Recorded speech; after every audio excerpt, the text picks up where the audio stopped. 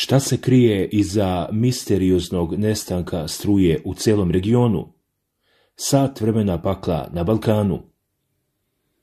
Nešto pre 13 časova, danas u petak, države Zapadnog Balkana počele su da prijavljuju masovne nestanke struje. Prvo je to objavila Hrvatska, pa Bosna i Hercegovina, a potom Crna Gora i Albanija. Ubrzo je postalo jasno da je u pitanju veliki regionalni strujni kolaps i to u trenucima kada toplotni talas dovodi do drastičnog skoka temperatura koje su išli do 40 stepeni. Došlo je do saobraćenih problema jer brojni semafori nisu radili. Posle sat vremena struja je počela da se vraća u regionalne gradove. Zvanična informacija o tome kako je došlo do kolapsa nema, ali su tri teorije najzastupljenije. Dakle, u Bosni, Crnoj Gori, Hrvatskoj i Albaniji došlo je do masovnog nestanka struje.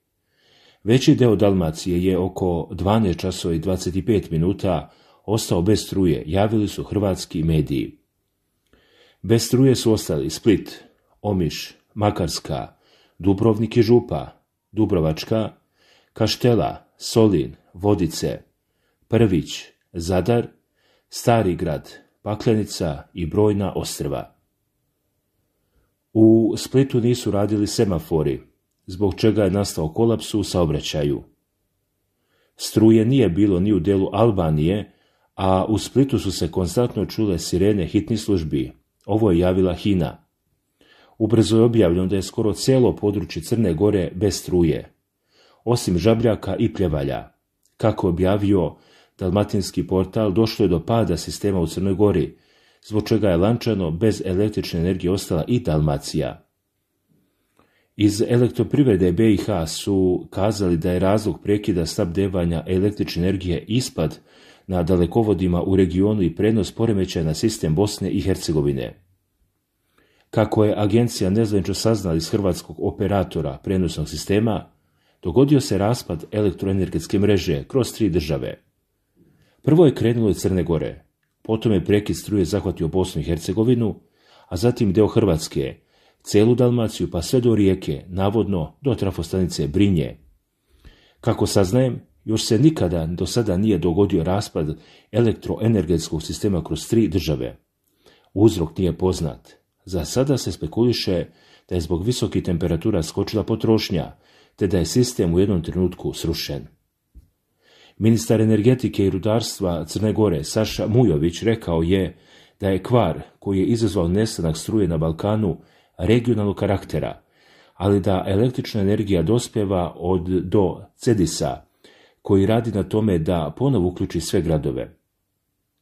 Izvršni direktor Crnogorskog elektroprenosnog sistema Ivan Asanović zvanično je kazao da je uslijed poremećaja regionalnih razmjera došlo do nestanka napona na teritoriji cijele Crne Gore, osim severa, kao da ispada iz beznaponskih stanja većih razmjera, došlo je u zemljama okruženja, Albanija, kako sam rekao, Bosna i značajan deo Hrvatske.